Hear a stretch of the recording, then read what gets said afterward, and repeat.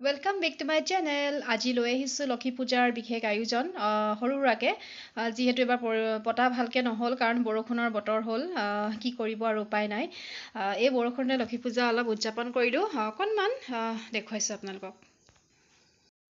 লক্ষী পূজা বুলি আমাৰ নামঘৰৰ ভিতৰতে এয়া চাকি বন্তি জ্বলালোঁ আৰু ভগৱানক কামনা কৰিছোঁ যাতে লক্ষীয়ে আমাক সদায় লগ দিয়ক আৰু সুখ আমি শান্তি সমৃদ্ধি কঢ়িয়াই আনক তাৰে কামনাৰে। লক্ষী পূজাৰ দিনাই মোলৈ পাৰ্চেল দুটা আহিলে। আহ, খুব ধুনীয়া পাৰ্চেল হয় এইটো। ব'লকচোন ভিতৰত কি আছে আমি আনবক্সিং কৰি চাওঁ। এইটোৰ ভিতৰত কি আছেনো? ব'লকচোন খুলি চাওঁ তেতিয়াহ'লে। আৰু ষ্টাৰ্ট কৰিছোঁ দেই খুলিবলৈ। এইটো বেছি ডাঙৰ বস্তু নহয় সৰু বস্তু মোৰ প্লান্টৰ হয়। ভাল লাগিল লক্ষী পূজাৰ দিনাই মই এইটো আহিলে।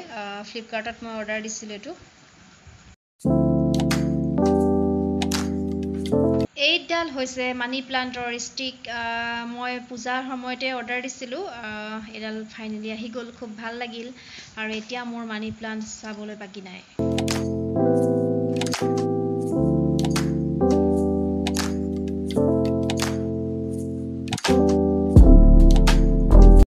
কেনেকুৱানো হয়? ডেমো এটা দেখুৱাই দিছোঁ। আপোনালোকে ক্ৰয় কৰিব পাৰিব যদিহে আনিব বিচাৰে। আৰু খুব ভাল হয় আপোনালোকে অতি সোনকালে যাৰ ঘৰত নাই প্লিজ আনি লওক। আৰু এয়া অকণমান দেখুৱাই দিছোঁ মই ক'ত ক'তনো থৈছোঁ। আৰু ৰাতিলৈ আমি ৰুটি চব্জি খাম এইবাৰ আজি লক্ষী পূজাত যিহেতু ৰুটি চব্জি খায়।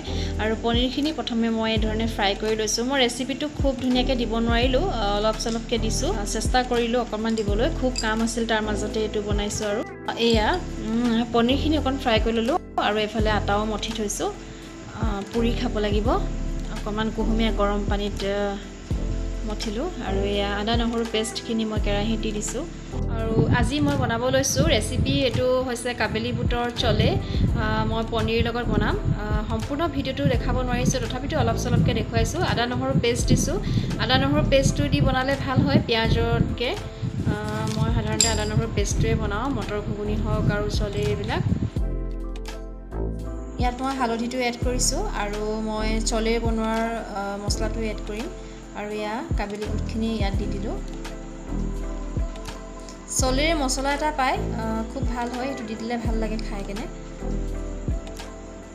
আৰু এয়া শেষত এয়া ধুনীয়া কালাৰ হয় ধনিয়া পাত দুখনমান দি দিলোঁ। খুব ধুনীয়া লাগিছে ৰংটো ন কালাৰটো খাওঁ খাওঁ লাগিছেনে বাৰু? জনাবচোন। আৰু যদিহে নাই খোৱা অতি সোনকালে বনাই খুৱাওক খুব ভাল টেষ্টি আৰু পুৰিৰ লগত খুব ভাল হয় খাবলৈ।